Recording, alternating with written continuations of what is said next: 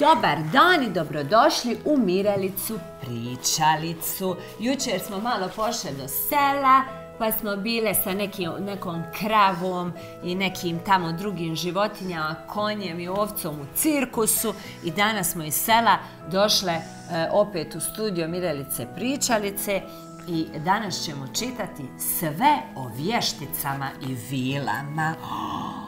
Čovječe, a recite vi meni, jel postoje vještice?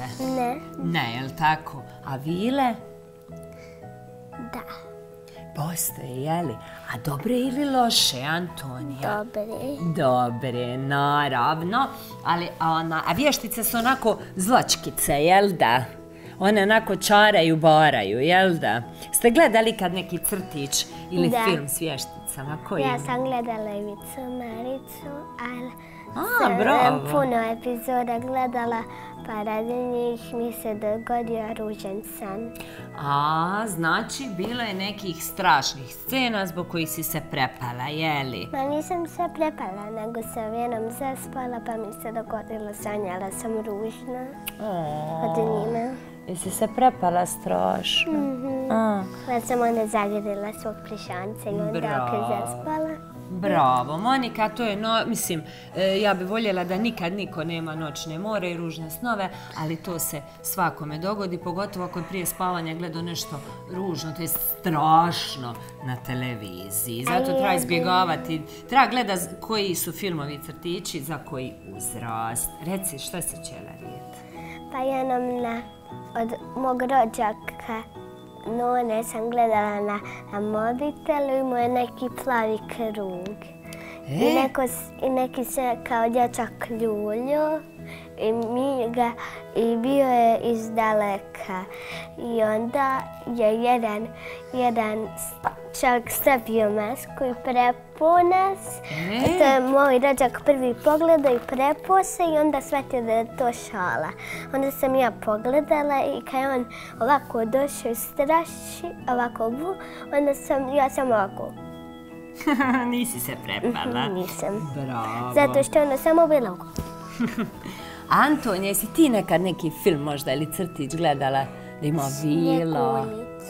Snjegulicu. A ček, a tako je, bravo, u Snjegulici je zla vještica, je li tako? Ona njena maćeha, je li tako? Mhm. Tako je, dobro. E, pa ćemo se sad malo nasmijati, ovo je kao općenito sve o vješticama i vilama. Oni su to onako kogod e, da je radio e, ovu priču, baš da vidimo imali gdje koju je napisao. Ima ideja i tekst Emily Beaumont E, francuskinja, ja bih rekla. E, tako da evo, e, ona je to nekako, Emily, na šaljiv način išla prikazati koje vrste vještica ima. Pa evo ovako, ovakve su i nekako ilustracije. Hoćemo se malo nasmije i vidjeti kakve sve vještice postoje. Da. Jesmo spremne? Da. Kaže ovako, kaže kako su se pojavile vještice i vile. Jedna legenda kaže da je nekoć davno ali vrlo, vrlo davno zemlja bila prekrivena vulkanima. Nebo je bilo tmurno i obavijeno dimom. Još nije bilo čovjeka, ali u tom se vrelom kotlu, ali su u tom vrelom kotlu živjeli strašni divovi.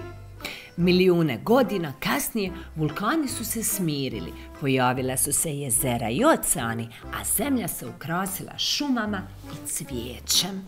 Strašni divovi pretvorili su se u vile, vještice, patuljke, vlenjake i druga čudesna bića. E sad kaže, znači što su bili prije vulkani? A?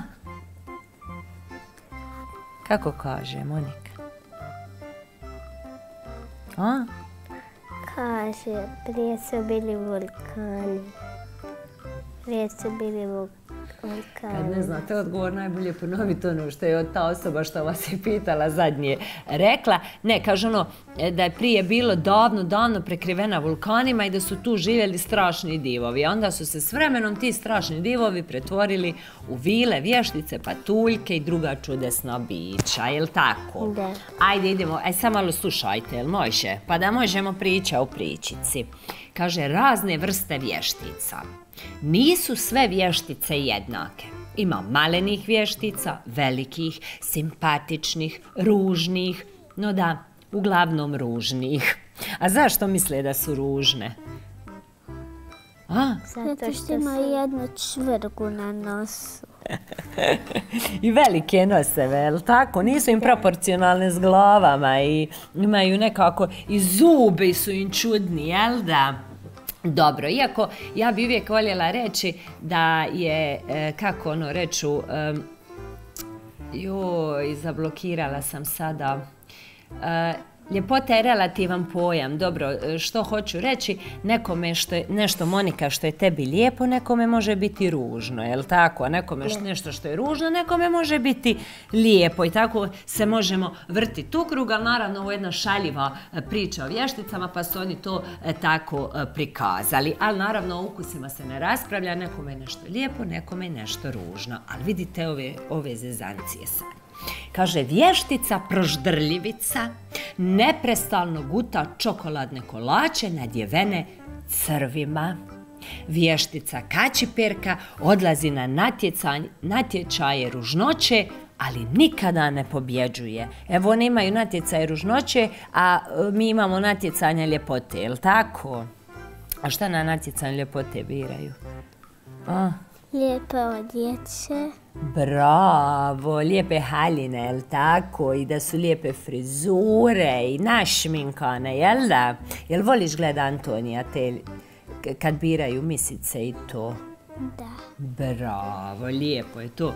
I pogleda, a bili se ti jednog dana natjecala? Ne. Ne bi, dobro. Znači, Antonija više voli e, pogledati.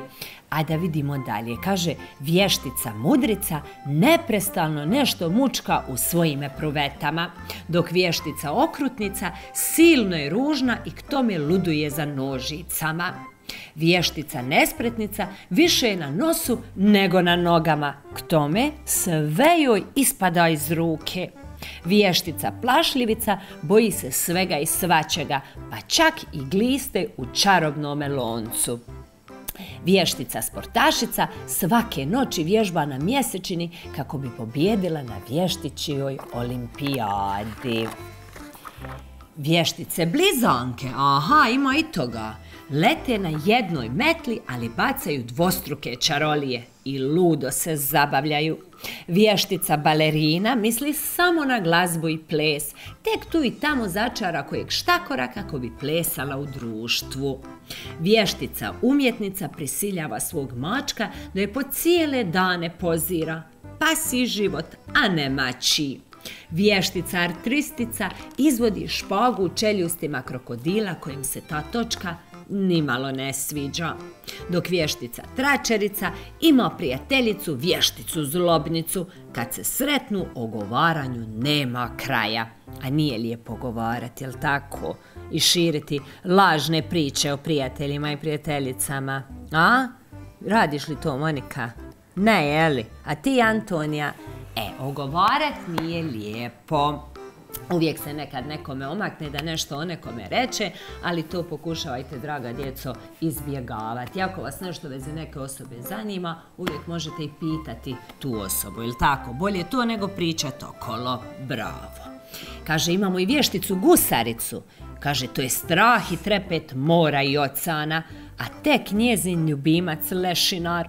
Vještica vrtlarica bavi se uzgajanjem samo dviju vrsta biljaka koprive i mesožderke, dok vještica veterinarka spravlja čarobne napitke od kojih stari mačci jure brže od mladih. Evo, otprilike, ne znam koliko možete vidjeti, ili ovako u ovu kameru da pokažemo, to su te vještice. A recite mi od ovih vještica, koje biste vi, koja, ti je, koja vam je onako smiješna, najdraža? Imamo proždrljivicu, kačiperku, nespretnicu. A, koja vam je? Možda vam nije ni jedna fora? Meni je i Koja bi ti bila? Ja bi bila ova. Ti bi bila balerina, bravo. Evo, Antonija bi nam izabrala e, vješticu balerinu koja toliko voli plesa da začara štakore da plešu s njome. A ti? I ja mislim da bi ja bila ta vještica. Baš volim plesat. O, koja si ti? Ova kuha, ova igra nogomet. Ova je zločesta, kida štakorima rep, jer se voli igra s nožicama. A? Koja bi bila? Ajde, odluči se Ne brzo. znam, ne znam. Imaš i ođe ih još. Čerapi, i ova. E, ti voliš crta, jel tako? Tako, evo ona bi bila vještica umjetnica koja svog mačka prisiljava da je po cijele dane pozira. Da, ja volim da neko pozira pa ga lijepo nacrta. Bravo! Eto, mo- možeš, ona, može ti prijateljica pozira, Antonija. Lijepo nju nacrtaj pa joj pokloni taj crtež. A vidite ovo, kaže vještice diljem svijeta. Jednom godišnje sve vještice svijeta imaju vještičiju skupštinu. Da bi stigle na odredište, lete na svakojakim letjelicama. Alpska vještica ima lovački šešir i oštroku orlovsku metlu. Talijanska vještica leti uz dijeli punoj špageta začinjenih crvima. Njam, njam. O, baš to dobro. Nisi nikala pastu s crvima? Njam, njam. Sti, Antonija. Ja se malo šalim s vama. Naravno nisam nija jela pastu sa crvima, ja se samo malo zafrkavam. A vidite ovo, kaže, kineskoj vještici nije se dobro naći na putu, njezin zmaj riga vatru i na prijatelje i na neprijatelje. Dok španjolska vještica ni tijekom leta ne odvaja se od svojih kastanjeta, a leti na lepezi, da kako. Imamo indijsku vješticu, ona leti na čarobnom tepihu i zabavlja se svirajući u frulicu, kobra se dakako manje zabavlja. Dok kanadska vještica ima kapu od dabrova le, repa, a leti u kanu. Ruska vještica u saonice je upregnula lešinare, a praporci zvone, zvone. Egipatska nosi piramidski šešir, a leti na metli sa svinginom glavom, dok švicarska prelječe Alpe na golemom rogu. Imamo i afričku koja leti na divovskoj boji, to je velika zmija, vidite je, i usput svira tam, tam, tam. Francuska putuje originalnoj Diorovoj haljini, ali na posve neobičnoj metli. Američka pucketa lasom vozeći se na metli konjiću, dok engleska vještica je zajašila svoj čajnik, ali izgleda da neće baš brzo stići na odredište. Kako su blesave, dobre su i nove metle. A zapravo nijedna ne leti, ne leti na metli, jel tako? Koja vam je najveća fora? Meni je najveća. E, ti bi italijansku. Pa je smiješna je, zamisli ona leti uz dijeli puno špageta i onda ako gledniš puta malo pojedeš. A koja tebi? Meni je. Imaš i ovdje. Ne mora ti bi nijedna. Mislim, ne moraš ti. Ovako, ili ako ima neka da ti je fora. A? Meni je fora ova.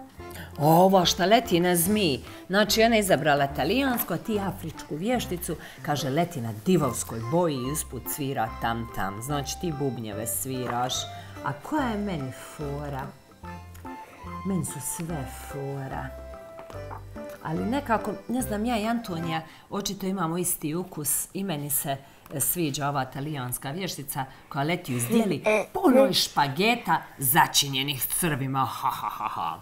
Dobro, evo malo sam vas htjela nasmijat, ne znam koliko sam u tome uspjela, vidjet ću kad budem e, gledala ovu epizodu, ali evo malo da se ima, znači naravno da vještice ne postoje, postoje samo u bajkama, filmovima i pričama i crtićima. A meni se jednom dogodilo da meni je jedan prijatelj dao kao neku mušku igračku, ali isto mi se sviđala. E? I stavila sam je u jednu ladicu. I dogodilo se kad sam spavala, probudila se i tu ladicu pogledala, nema Tu ti je mama biće uzela. Nije. Nije mama uzela, mama se nikad ne diže sa kreveta, ni teta, ni seka. Ali vještice ti ljubavi ne postoje i da to sad završimo emisiju. Znači, draga djeco... Pa svuda tražimo ovu igračku i nema diče. Naći ćemo je, naći ćemo je. Onaj, draga djeca, ako smo vas možda malo i prepali s ovim vješticama na čemu lete i kako izgledaju, tko su one, samo sekund, ne brinite se, vještice ne postoje, ne postoje samo u pričama, bajkama i crtićima. Ja sam njih pokušala nasmijati, ne znam koliko sam uspjela, ali evo nadam se da sam vas uspjela nasmijati. Hvala što ste i danas e, bili s nama. Mi se vidimo ponovno sutra, a mi se idemo tražiti igračku od Monike. Vidimo ko je ukro tu igračku. Bok!